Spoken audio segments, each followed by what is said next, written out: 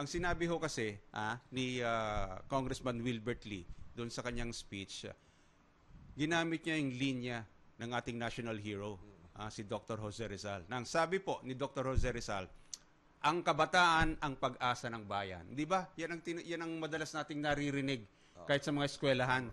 Sa mga matatanda, sa mga eskwelahan, lahat, naririnig natin yan.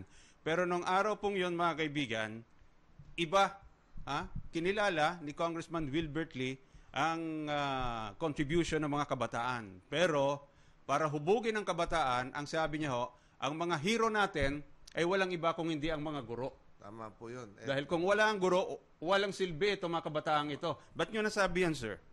well, una-una, no, ang, ang, ang tingin ko dyan, no, lahat ito nagsisimula talaga sa paaralan. No? Mhm. The youth is the future, but who shaped the youth? No? Yan. Ito po yung mga guro natin. Mhm. So para sa akin, ang tunay na pag-asa no, ng bayan dito ay ang mga guro. No? Apo. Dito po nagsisimula yan. No? Dito talaga ang paghubog, pagtuturo, lahat kung ano po yung magiging ah, ah, pananaw ng ating pong mga kabataan. Dito lahat ito nagsisimula, Ed. No? Aha. So para sa akin, napaka-importante po na simulan dito sa paaralan. Mhm. Kung anong magiging klase ng paglaki o pag, ah, pananaw po ng ating kabataan, dito po yung nagsisimula. No? Mhm. tungo sa isang dito po tayo nagsisimula maghubog ng isang tao tungo sa isang makabuluhan, makatwiran, nalipunan at may pusong lipunan yan ang pinaka-importante yung Yeah. sinabi ko doon.